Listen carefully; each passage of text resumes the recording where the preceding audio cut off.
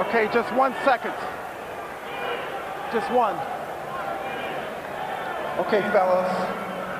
Trunks are a little high here. Any punch in this area, any punch in this area is considered a legal punch. Anything below will be illegal. Now, gentlemen, we went over the rules in the dressing room. I want to caution you. Keep the fight clean at all times. Protect yourself at all times. And what I say, you must obey. Good luck to both of you. Touch gloves. Klitschko, who is regarded as the best young heavyweight in the world, is coming off devastating wins over a pure boxer, Chris Byrd, and a pure brawler, Derek Jefferson. Shufford is a big, strong boxer. So a well-rounded test for Klitschko as Klitschko and his German trainer Fritz Sdunek try to prepare him for the title shot that now seems inevitable, barring a major upset.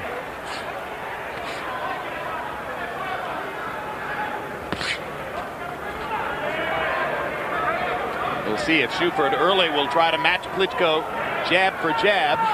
Right now, Shufford staying back and Wladimir just sort of measuring the distance.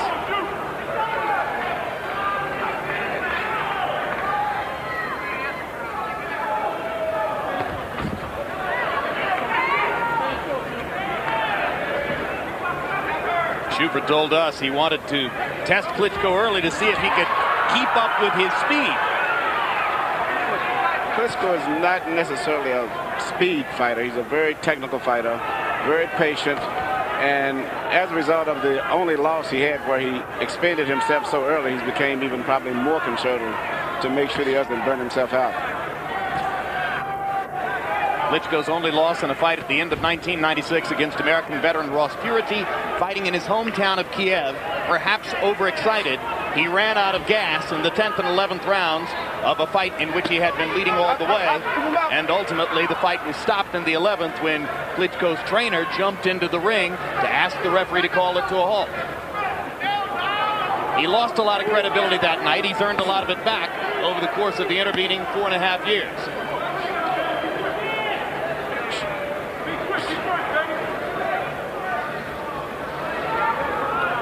Relatively slow first round here as Shufford is so far unwilling to engage Klitschko, and now he steps forward and fires a combination. But Shufford went wide and low with that left hook to the body. If he does that a few more times, Wladimir will try to fire a right hand. Wladimir right now is looking for a right hand. He said his favorite fighter was Max Schmeling, and he fights to some degree like him, like many of the European heavyweights basically probing with the left hand, always looking for opening for the beautiful right hand that he has.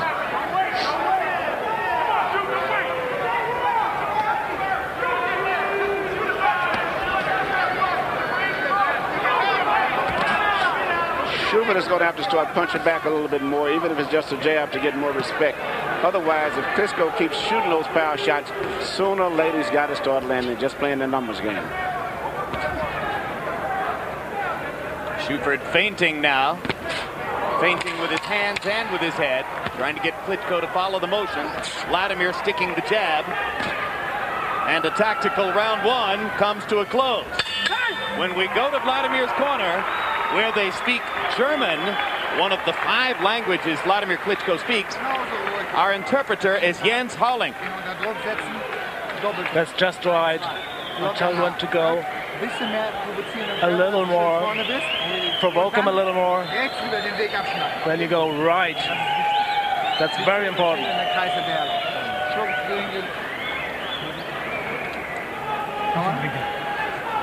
Drink a little bit. No more feints. You need little more jab, little more feints. You understand? And stay focused. And you gotta hit, you gotta look to hit him a little more. You know what I mean? You're selling down, you're doing nice. Don't give him no rounds, you hear me? Him no rounds. All right. You're okay. Stay focused. Stay focused. He can't touch you. He never touch you. Come on.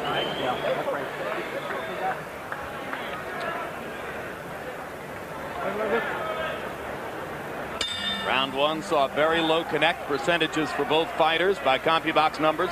Klitschko landing only 6 of 46 jabs. Shufford throwing 21 jabs and landing only one of them. Wladimir by far the aggressor in the round. That's why Harold Lederman called him the winner of round one. But I make it a point to notice that the best punch of the round was the last two punches of the round, which were solid jabs by Klitschko. And if he keeps jabbing and fighting his range with the jab, you can pretty much expect the right hand to follow through pretty soon. Shufford trying to get to the body with a left hook. You heard his corner. His father, Charles Shufford Sr., asking him for more feinting, more movement. He's not moving much, and the left jab is going to be the big factor, I think, as the fight progresses. So this, the jab coming from Klitschko. His jab is landing with beautiful force and power. Wladimir missing with a right hand there. Difference in strength between the two fighters seems evident. Yes. Shufford needs to use his quickness. And Shufford is very much aware, seem to be conscientious of the strength difference. But he's not using his footwork too much. And There's his a hard right hand. is just And out that's- there. You know, you just saw that coming. I mean, you just saw that coming. As Yeah. soon as he could land the right hand, Yeah. Shufford was going down. He was preoccupied with watching for the Hey, you jab. okay? Never saw the right Come to hand. me. Give me your glove. So now let's see if Wladimir can finish an opponent who has gone down once, doesn't seem to be all that groggy, and has his legs underneath it.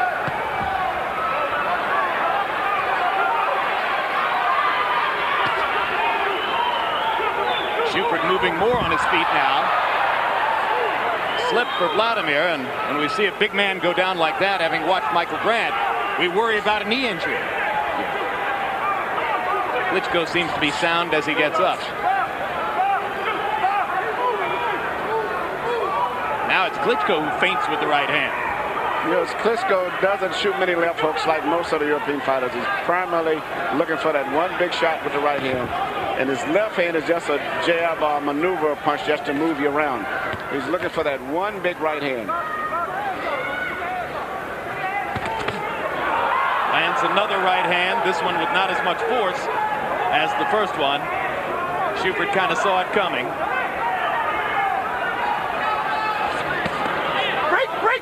Step back, please.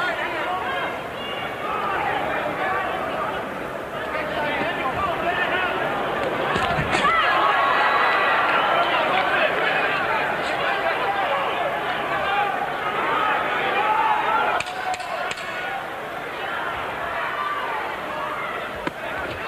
Up, up, up. Get him up. Time! You just gave that round up, man. You just gave that round. I told you to stay off the rope. How you gotta get that punch in on you, son? Stay focused, man. Man don't never supposed to get hit you with nothing like that. You're doing very good. Stay calm. Left, right. Not too much power. A little shorter. Schön mit links vorne stellen, Weg abstellen. You did good.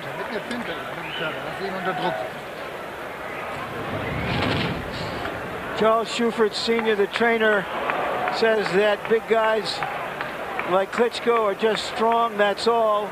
But you can see how quick and straight that right hand was. It wasn't just strong, it was quick. It was an athletic quickness that reached Shufford.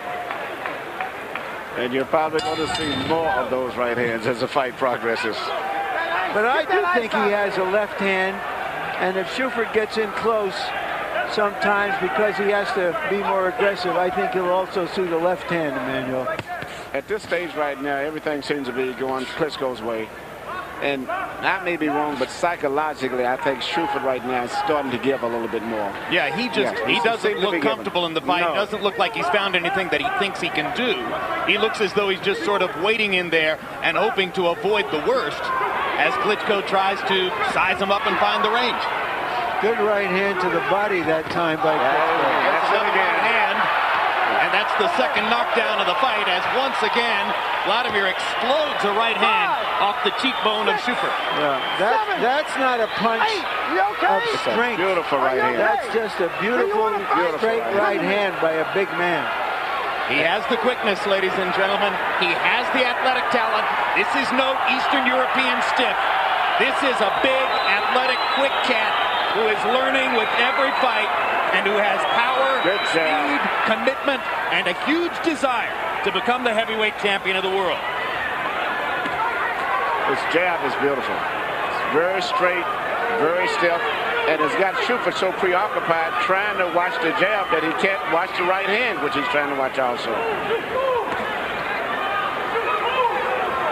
Klitschko showing patience. He'd like to do more damage, but he's not going to take an unnecessary chance stalking a 230-pound fighter. Cuts the ring off. Relentless aggression under control. You see all of the experience for those great amateur fights that he had, and you must forget this man won the heavyweight championship in the Olympics, something that very few fighters other than Cubans have did in the last 15 or 20 years. Well, Lennox Lewis won a gold, and he was the last top fighter that won a gold. That was We may- 1988. And we're probably looking at the next one. Of course, Muhammad Ali, Joe Frazier, and George Foreman all won Olympic gold medals. Long time ago.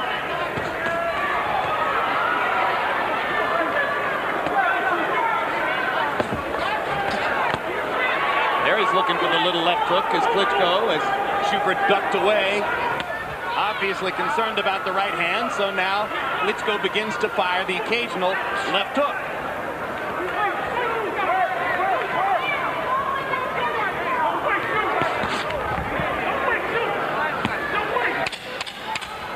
Shufford landing in single digits, not taking many chances and throwing much. Wladimir trying to land one more big right hand and the crowd and Oz, just as they would a Sammy Sosa missed cut on a 3-1 fastball. Yeah, but it's still all Klitschko right now. Matter of time. Just Just a a matter of matter of time. time. Like that, man. You never get hit with right hand. Just get off the rope and keep your hands up high, okay? And step away from no body shots. You got legs, man. Step away from him. This guy got to be You just hit him very good. Stay calm. Deep breathe. Передний вот, под- подбивай. You're doing very good. Передний прямой, левой косой. Хорошо такое, знаешь? Вот. Право не держать. Here's a look at Klitschko again in that right, which looked like it landed on the heart region. A straight right hand, fakes the left, fires the right. The beautiful right hand, too. Off the cheekbone. Boom. You can't throw a straighter right hand than that. When his father asks his son, why, why do you, you don't get hit with right hands? That's obviously because he hasn't seen one like this. Or perhaps we should say he You know, I think even Lennox Lewis loops his right hand a little bit more than Klitschko. Pretty right, close call. The, the right hand that Klitschko is shooting is one of the best right hands that I've ever saw, not just today, probably in the history of boxing. He hasn't been that good before this fight. Harold, how do you have it through three? Okay, Jim. Three rounds to nothing. 30 to 25, Wladimir Klitschko. Jim, I think the key to this fight is every time Charles Shufford stops and stands right in front of that big guy, he gets murdered. Just watch Shufford's feet. The minute he stops, he gets nailed, and it's all there is to it. Can't stand in front of him because the guy hits too hard. Break, break, step back clean, fellas. There we go.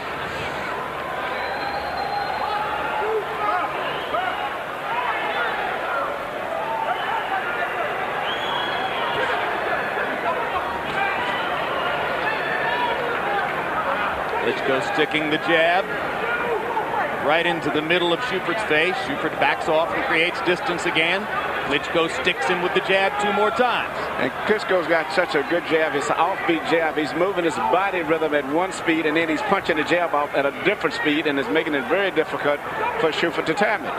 Because he's moving so smooth and so gracefully, and the jab comes off at a whole different rhythm. Now Shufford dives inside and tries to get to Klitschko's body.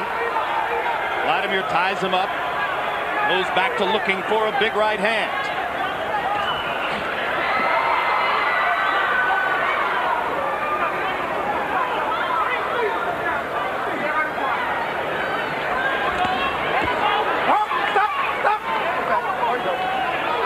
Klitschko just missing with a left hook there.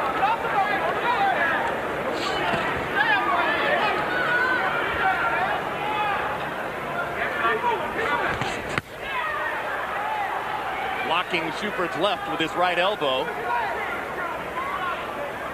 He's blocking the punches, but still always maintaining good balance and good position. So even after he finishes up blocking the punches, he's able to retaliate right away if he wants to, either to regain that chase momentum that he set.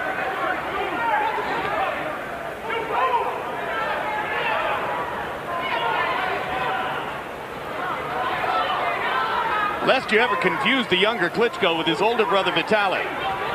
When you see Vitaly in the ring, he's even bigger than brother Wladimir. But what he lacks is the athletic deftness. He's just not as nifty on his feet. You don't feel that loose, cat-like quickness, the ability to respond to a situation that Wladimir so clearly has.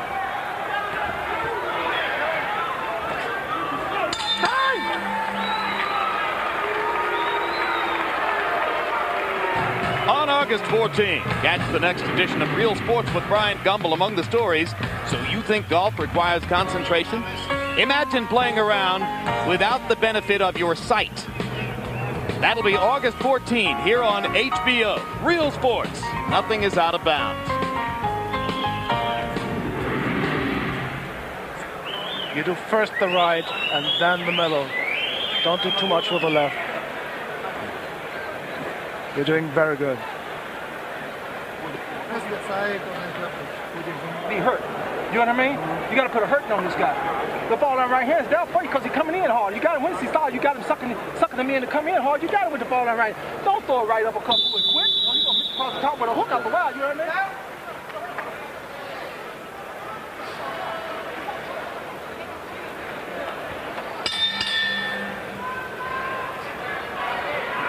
A lot of box numbers. Go ahead. I was just about to say, Jim, that there was a lot of pre-fight talk about some of the fouling that the Shuffords felt that uh, Klitschko occasionally did, or maybe more than occasionally in their view. But it's not the illegal blows that have hurt them, it's the legal ones.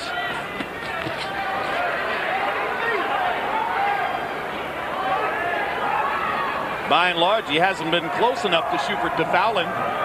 Shufford has stayed at distance for the most part, with the exception of the occasions when he got close enough for Klitschko to knock him down with two right hands. Well, the odd thing was we asked him, since he had portrayed George Foreman in the Ali movie, could he ever do that? And they said yes, but they were concerned with getting hit with an elbow. I don't know of a strategy that was ever devised because you were concerned about getting hit with a foul.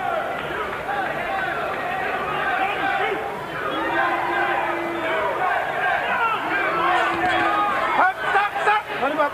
There we go.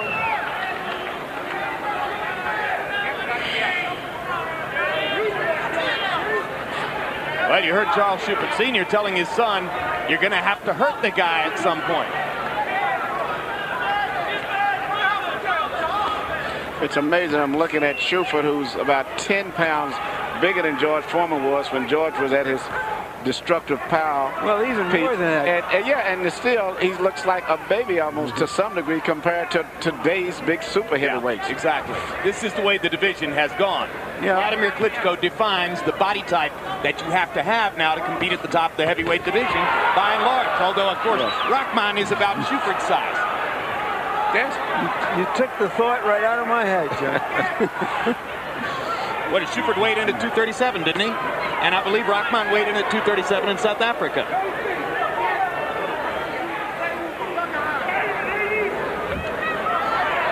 hop, break. That, that's one. There you go.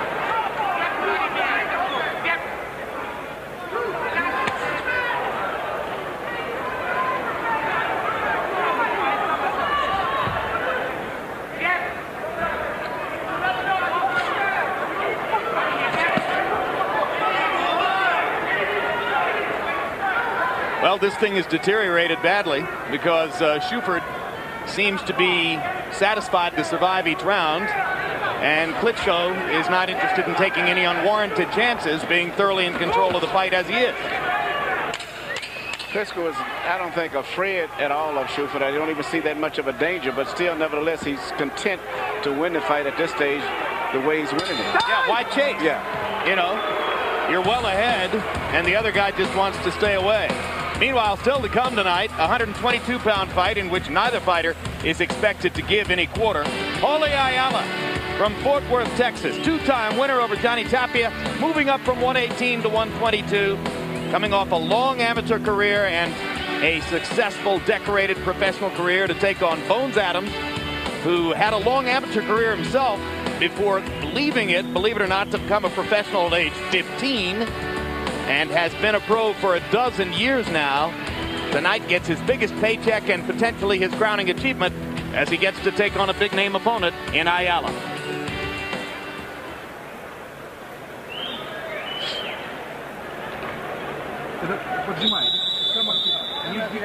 Seconds out!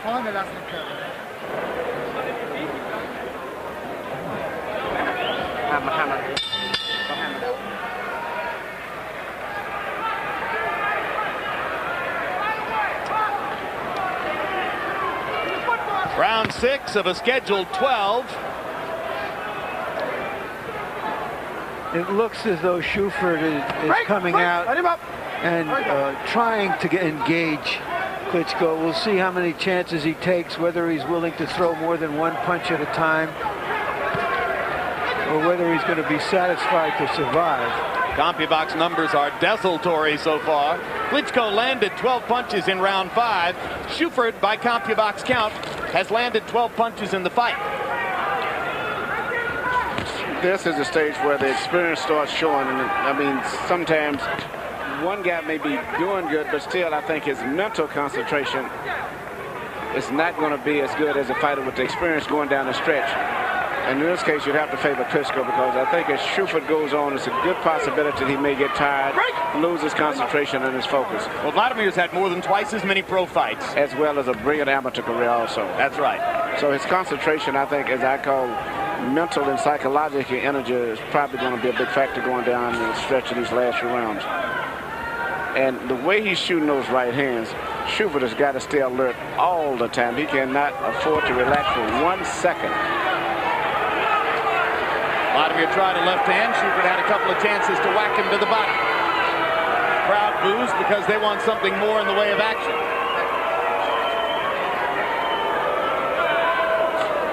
Shufford's not terribly interested in suicide, so he's going to continue backing away and trying to keep some distance between himself and Wladimir Klitschko. Klitschko is getting closer and closer and closer. Though. Just missed over the top with that right hand. The two times he's managed to connect solidly with the right hand, Shufford has gone down. Very, very hard to connect solid there because Shufford's mind is primarily about 90% on defense. And therefore, it's very difficult to land a clean punch.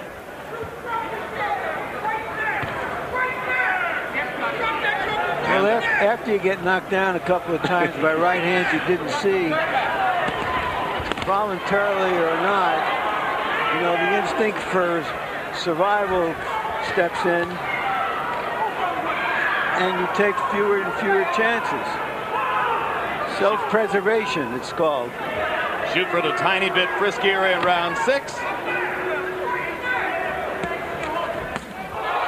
Klitschko lands a left hook. So much for the left hook that I said didn't exist. Left hook inside, and Charles Shufford has a headache as he gets up at the count of seven and wobbles, and Kenny Bayless has seen enough. When I tell you about the left hook that I said didn't exist. An American weapon, the quick left hook. And Wladimir Klitschko waited and waited and waited for the right hand and finally said, all right, look, if you're not going to let me land the right hand, I will just have to knock you out with the left hook. I've got no choice. and it was a great left hook, too.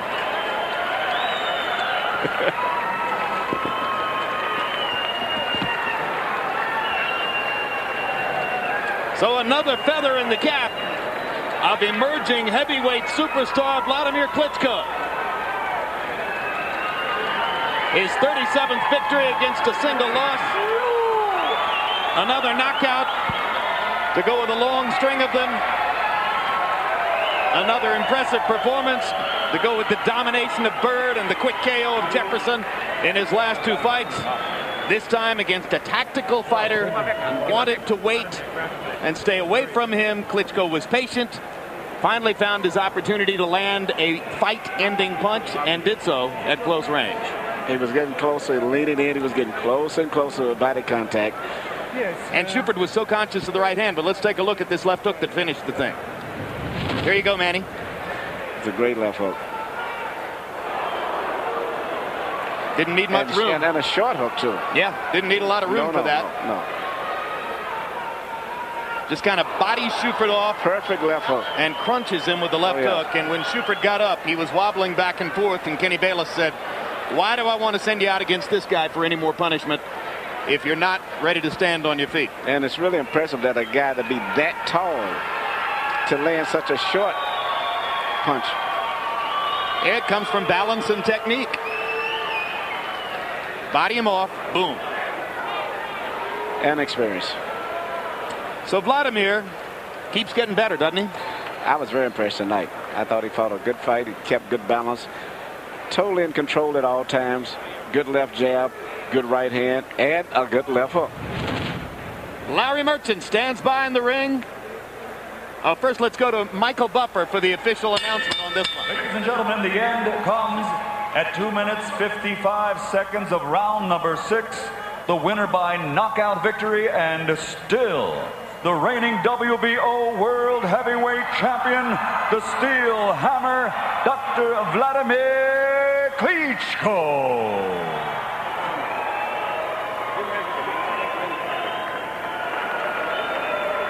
So, the Doctor of Heavyweight Contenders, recent recipient of a PhD in sports fitness from his home university in Kiev in the Ukraine, gets another knockout in his boxing career. Final punch stat numbers, total punches, so that it was a slow, tactical fight. Shufford landing only 16 of 190 attempted blows. Wladimir Klitschko landing 58 out of 262. About half of those were jabs and half of them power shots. As you can see, Klitschko landing 40 out of 213 jabs uh, to 7 out of 126 for Shufford. Uh, not a high connect percentage on the jab for Klitschko. That's more a function of where Shufford was standing and the respect that he gave to Klitschko than it is of any technical inadequacy on Wladimir's part. When Wladimir got, chance, got his chance, he did what he had to do.